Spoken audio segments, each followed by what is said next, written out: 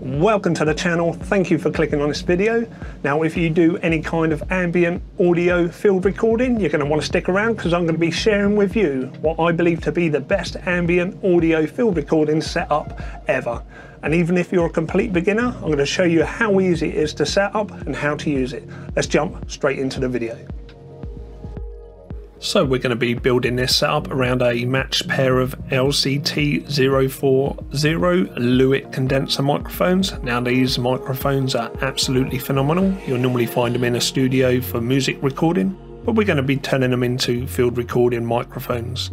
Now these come with a 5 star rating on Amazon because like I say they are absolutely phenomenal. And because they're a matched pair, they come in a pair, so we need two of them.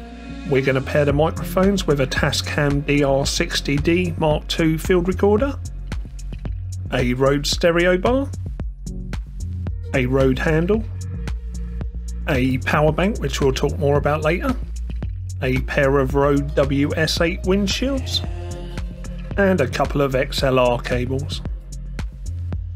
And I'll be using a DJI Pocket just to show you one way you can use this setup. Now the Tascam field recorder does go through batteries. In a 45 minute session we was able to go through 12 AA batteries, which is the reason we need a power bank to get 12 hours use out of it. I use a little bit of velcro to join them together and a cable and a Tascam can run quite happily off a power bank. So let's stick on the windshields onto our Lewitt microphones and attach them to the stereo bar. Now we run the XLR cables from the recorder to the microphones.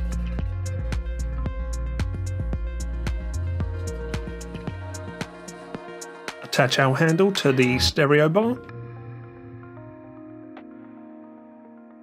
And we mount our DJI Pocket to the top of the stereo bar.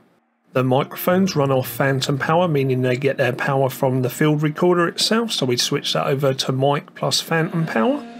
This is the reason it eats through disposable batteries and why you want to use a power bank.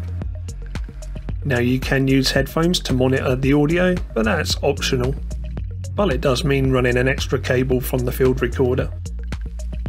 Then all you have to do is set the level of each of the channels. You get a left and right for each microphone and you can monitor this with the screen on the Tascam. Then when you're happy with your levels, hit record. Anyway, let's stick it in a bag and head off out and show you what it can do.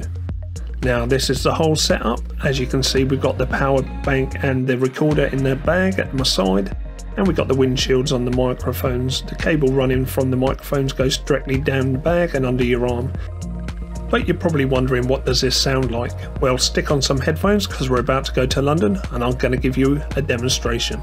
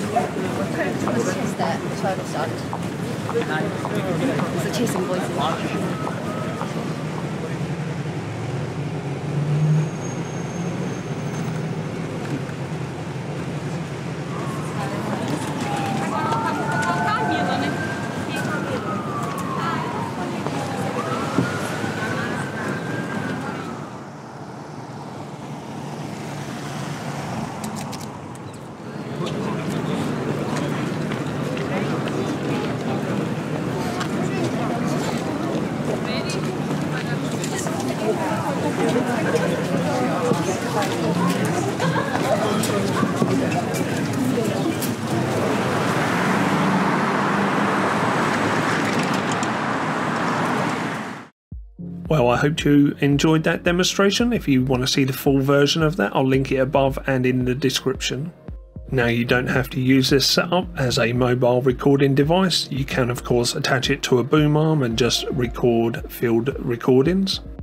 Remembering that the microphones are completely adjustable on the stereo plate, you can have them facing straight forward or in any orientation you like. And again, you don't have to use the DJI Pocket. These can easily be mounted on any kind of camera setup as long as it's got some kind of cold shoe mount or mounting point. So there you have it, the best mobile field recording audio setup ever, or what I believe is ever.